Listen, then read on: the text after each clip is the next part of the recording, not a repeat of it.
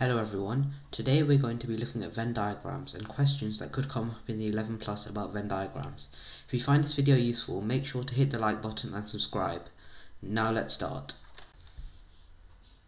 Okay, so in a Venn diagram, there are two or three overlapping circles. Each circle has a condition that must be fulfilled if something is to be put in the circle. For example, if the circle is called children who are over 16, only names of children who are old, over the age of 16 can be put in the circle. Overlaps between the two circles means that both of the conditions of both circles have been met. For example, to be put in the overlap between two circles labelled over 16 and plays football, the name must be of a person who is older than 16 and who plays football. So any values outside of the diagram does not meet any of the conditions over any of the circles.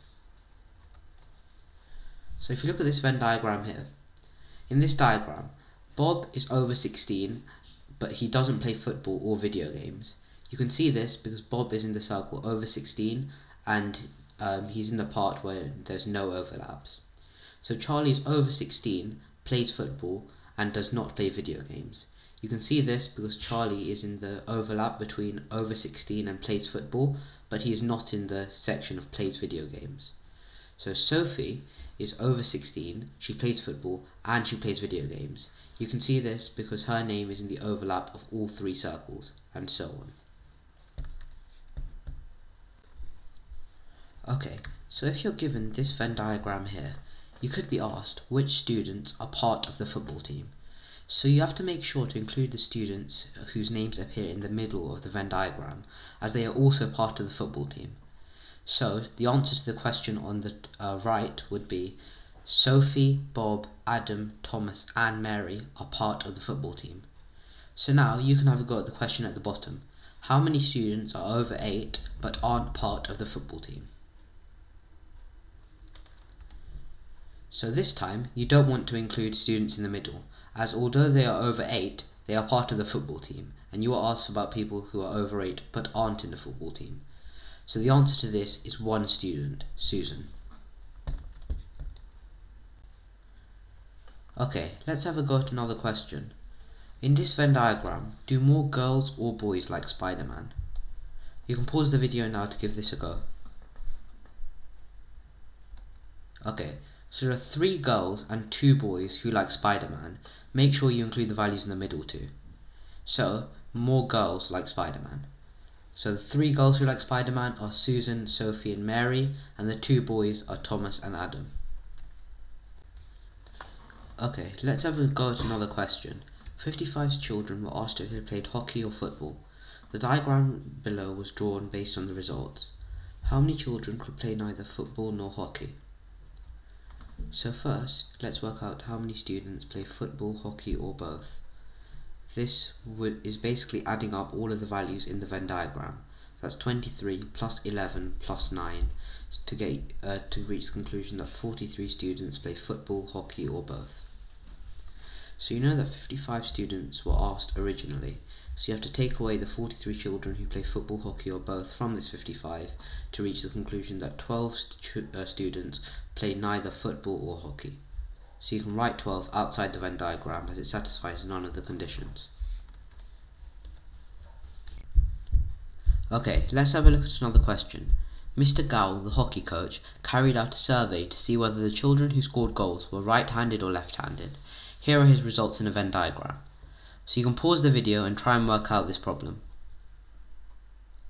Okay, so A. Use the Venn diagram to write down the number of right-handed children in the team.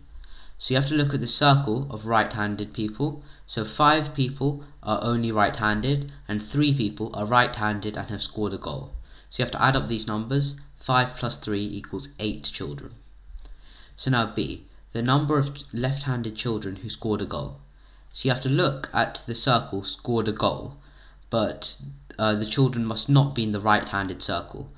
So you can work out that only two people are in the scored a goal circle without being in the right-handed circle. So C, the number of left-handed people. So, um, you see that two people, we've worked out that two left-handed children scored a goal, and there's one left-handed person outside the circle who has not scored a goal. So you have to add up these values 2 plus 1 which equals 3 children who are left-handed on the team. Okay, so next question. There are 80 students in year 11. 9 students study French and German, 35 students study only French, and 2 students do not study French or German. Complete the Venn diagram. So this should be reasonably easy, it's just putting values inside the Venn diagram.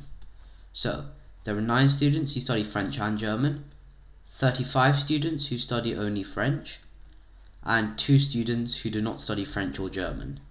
So to work out the people who study only German, which is also part B, you have to work out that there's 80 students in year 11, and you have to take away the students who study both French and German, the students who study only French, and the students who do not study French or German, to give you 34 people who study only German.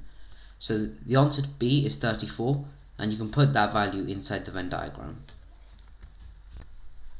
Next question. At a wedding, the guests may have ice cream or custard with their dessert. The Venn diagram shows information about the choices the guests made. For A is how many guests had custard.